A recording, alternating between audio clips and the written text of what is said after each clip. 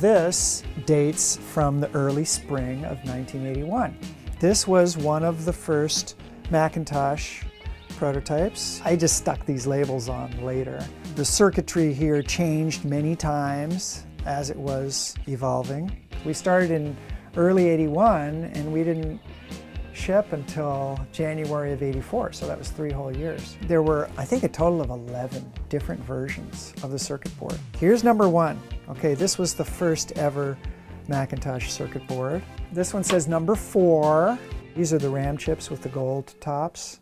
Notice how these are spaced out compared to this one. See on this one, the RAMs are all crammed together. That's because Steve wanted to see if we couldn't make it more aesthetic. So this is the board that represents the more aesthetic layout, and guess what, it didn't work as well. He wanted the inside of the computer to look good even if no one would see it.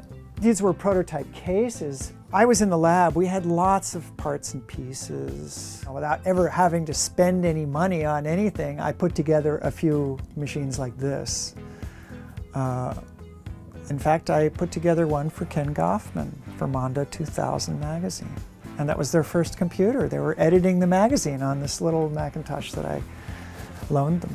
Never got it back, but anyway, this is the Mac SE.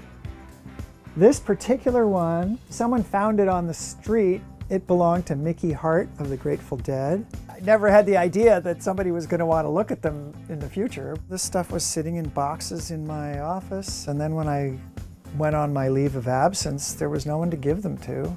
I wanted to go tour around Europe.